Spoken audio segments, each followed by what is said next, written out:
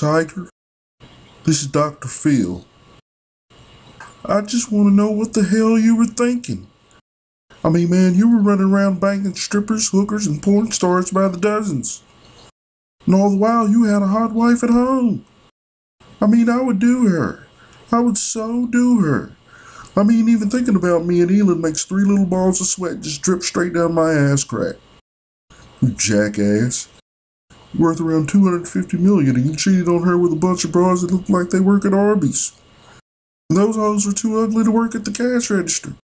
They had them in the back room twisting all the potatoes into curly fries. You disgust me.